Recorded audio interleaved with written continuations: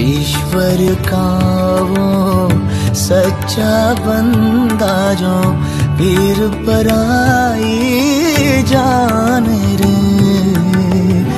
मानवतार पर उपकार को, अपना धर्म जो मा